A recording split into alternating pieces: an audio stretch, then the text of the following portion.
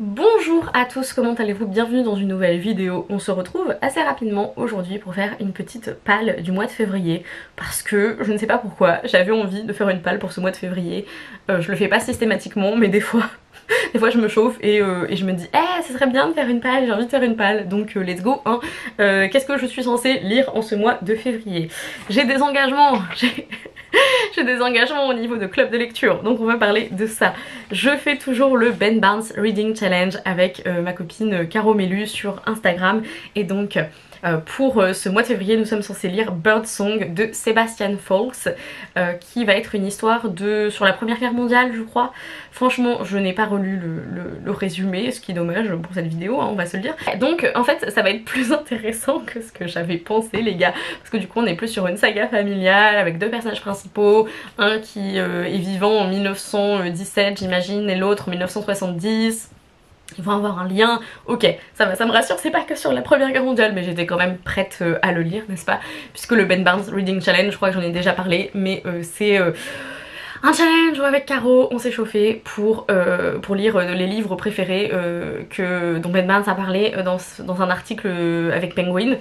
Et donc on a, il nous en reste deux, il nous reste Birdsong et un deuxième qu'on lira euh, probablement en mars. Deuxième livre que je vais lire en ce mois de février, il s'agit de You Truly Assumed de Leila Sabrine qui est donc un premier roman une jeune femme qui s'appelle Sabria euh, qui va euh, se tourner vers son blog euh, Truly Assumed après une attaque terroriste et il y a plein de jeunes de ce pays, j'imagine que c'est les états unis qui vont pareil trouver du réconfort en fait dans le fait de parler en communauté après tous les sentiments voilà, anti-islam et islamophobes dont ils vont faire l'expérience malheureusement.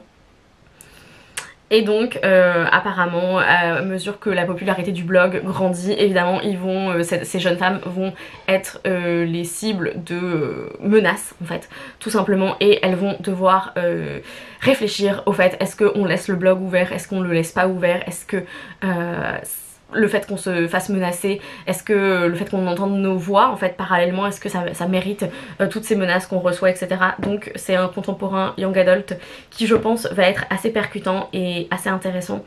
J'ai assez hâte de le lire donc voilà on va lire You Truly Assumed je voudrais lire un autre des livres euh, de mon challenge 12 par 12 par 12, donc 12 euh, livres pour 12 mois par 12 abonnés que j'ai fait sur Instagram et donc le deuxième livre que j'ai acheté euh, pour ce mois de février c'est La maison dans laquelle qui est assez énorme, hein, il fait 1000 pages, on est tranquille, de Mariam Petrosian.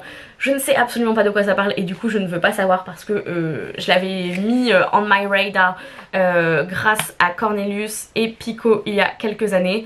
Donc ça dit dans la maison vous allez perdre vos repères, votre nom et votre vie d'avant. Dans la maison vous vous ferez des amis, vous vous ferez des ennemis. Dans la maison vous mènerez des combats, vous perdrez des guerres, vous connaîtrez l'amour, vous connaîtrez la peur. Vous découvrirez des endroits dont vous ne soupçonniez pas l'existence.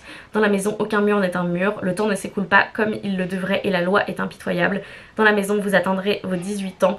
Euh, transformée à jamais et effrayée à l'idée de devoir la quitter. Évocation de l'adolescence, la maison dans laquelle est un chant d'amour à cet âge ingrat et bienheureux, à ses exaltations et ses tragédies, au sentiment de frustration et de toute puissance qui le traverse.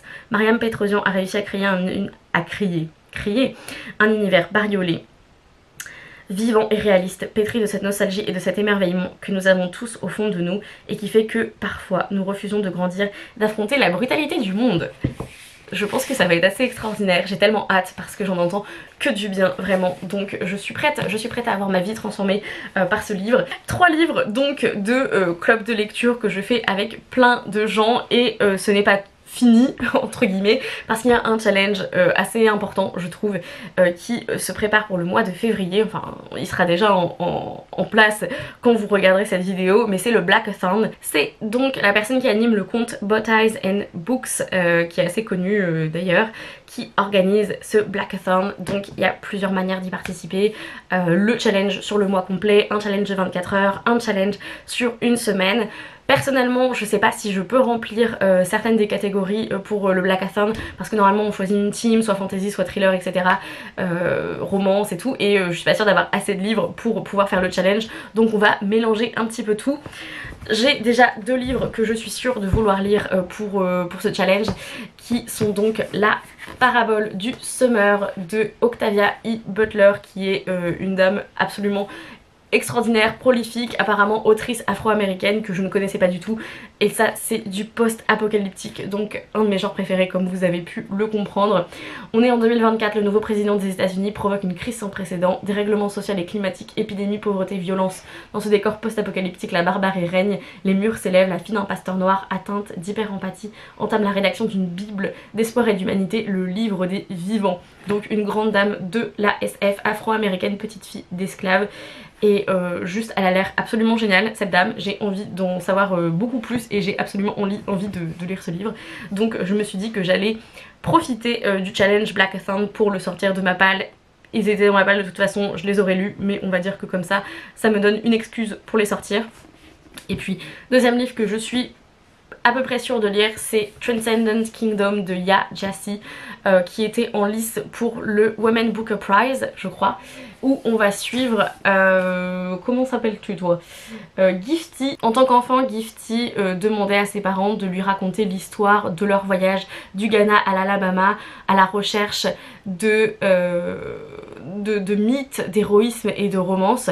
mais quand son frère et son père succombent à la dure réalité de la vie d'immigrants dans le sud des états unis leur famille, leur famille, leur famille de 4 devient 2 et la vie euh, que Gifty avait envisagée, dont elle avait rêvé, en fait euh, s'échappe peu à peu.